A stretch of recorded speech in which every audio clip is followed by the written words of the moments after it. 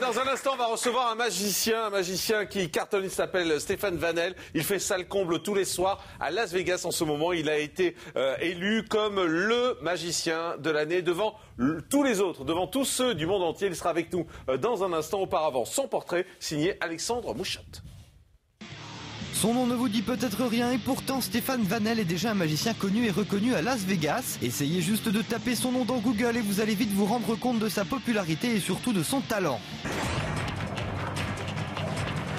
Vous n'avez peut-être jamais vu un tour de magie de Stéphane Vanel, en revanche vous l'avez sans doute déjà vu dans les magazines de mode car Stéphane a commencé sa carrière dans le mannequinat, un métier dans lequel il passe de nombreuses heures à attendre et il met à profit ses moments pour perfectionner l'art qu'il pratique depuis sa plus tendre enfance. À 6 ans, il voit un spectacle de magie et c'est la révélation.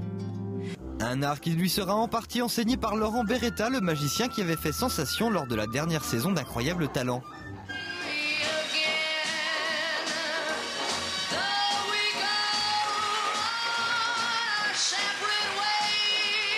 La magie prend alors le dessus sur les défilés et Stéphane anime même une émission de magie sur Fun TV dans laquelle il invite de nombreux magiciens. Tout le monde voit la carte? Ouais Ouais Pourquoi tu demandes toujours des encouragements C'est lourd Vous vous avez payé avant le tour Donc là, il a C'est coupé, je suis Alors d'accord. attention, je vais essayer de vous montrer. Regardez, depuis le départ, j'ai Qu'est-ce que tu fais Normalement, j'y arrive.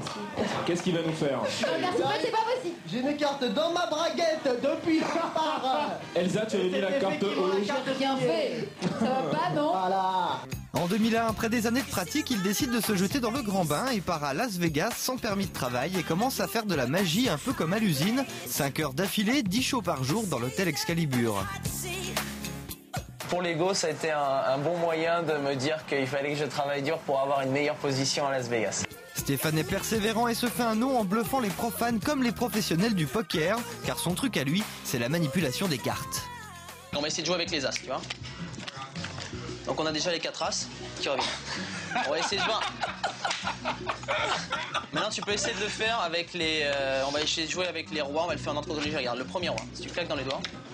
Le deuxième. Non mais comment tout seul? Troisième. Quatrième.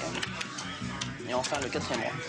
Et on peut dire que ces 5 heures d'entraînement quotidien ont payé puisqu'il vient d'être nommé magicien de l'année et est en représentation tous les soirs au Paris Hotel de Las Vegas dans un show parfaitement exécuté.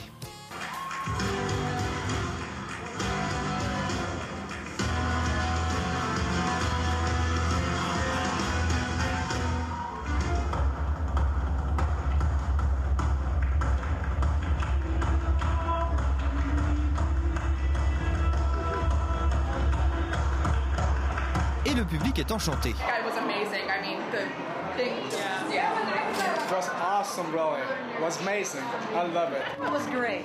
It was fun. Tout comme les médias locaux qui le reçoivent sur leur plateau.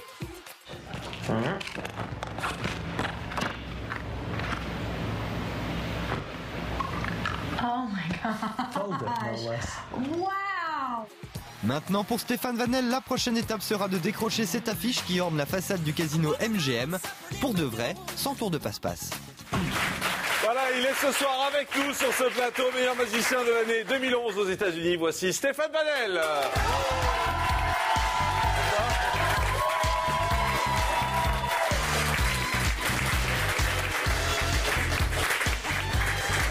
Bonsoir et merci d'être avec nous ce soir sur euh, ce plateau. Euh, c'est vrai que c'est très impressionnant tout ce qu'on peut voir euh, sur ces images. Vous avez, vous avez